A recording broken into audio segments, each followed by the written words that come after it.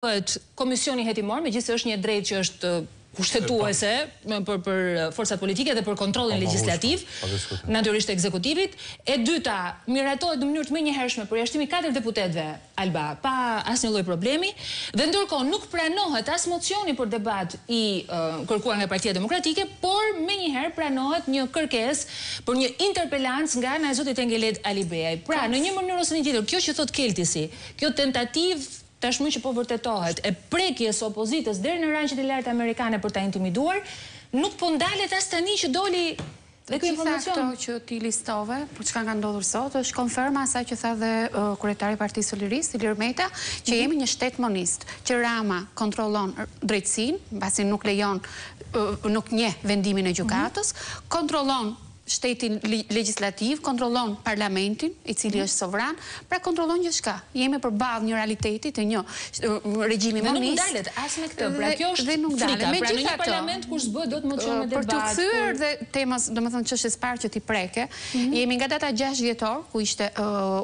mitingu i fundit apo foltorja e fundit që mbajti Berisha deri në datën njëmbëdhjetë shkurt, pra jemi plotësisht dy muaj që në këto dy muaj shteti monist i Ramës ka prodhuar mega skandale të cilat preokupojnë çdo regjim demokratik dhe çdo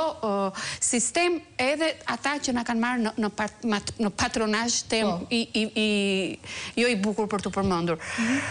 Ajo që unë mendoj se sido që të shkojë, jemi mësuar me strategjinë e Ramës, që përballë çdo skandali ai e minimalizon, e injoron, e tall, vë në lojë të gjithë, por me këtë çka ka ndodhur, ai është goditur në atë ç'ka më të shenjtë, në atë çka i ka investuar gjatë gati dy dekada që ai është në politikë, pak a shumë,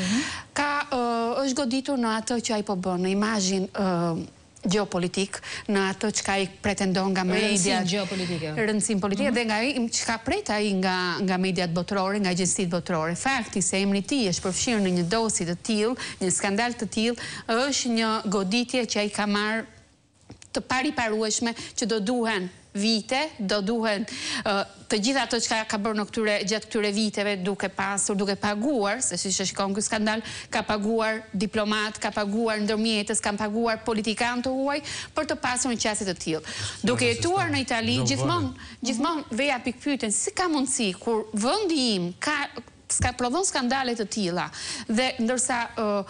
reflektoj dhe bisedoj mbi çka po ndodh në vendin tim me persona të tjerë të politikës apo të medias të cilët nuk arrinin ta kuptonin në Itali kuptoja se është pikërisht ky lloj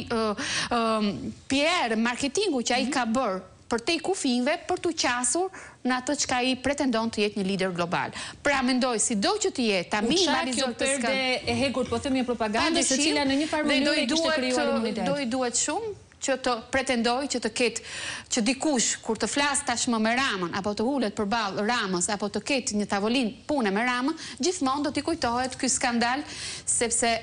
nuk kemi vetëm skandal, por kemi dhe një thes me para që sido që të kenë dalë, qoftë nga buxheti, qoftë nga para të pisura, derisa nuk ka një faturë, quhen para të pista. Sepse e ndërpreva edhe Keltisin që më parë, po më bëri shumë përshtypje, Keltis, nuk e di a ke lexuar. Kevin Carroll ka shërbyer si këshilltar i lartë për Sekretarin e Sigurisë së Brendshme John Kelly vitet dy mijë e shtatëmbëdhjetë dy mijë e tetëmbëdhjetë dhe për kryetarin e Komitetit të Kongresit për Sigurinë e Brendshme Peter King nga dy mijë e njëmbëdhjetë dy mijë e trembëdhjetë ka qenë oficer i